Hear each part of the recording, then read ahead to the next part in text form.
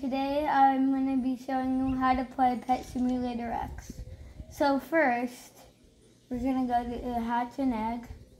Let's hatch it. Let's see what we get. Okay, we got a rare. Now with that pet,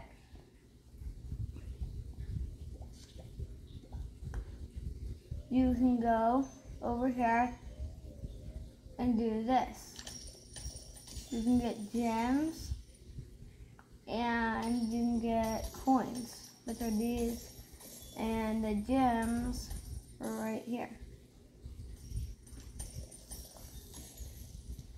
And and then you can unlock different worlds by getting these coins, which I have a lot.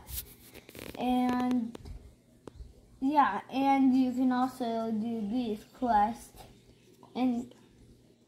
enchant. You can like enchant 20 pets or break 146, whatever.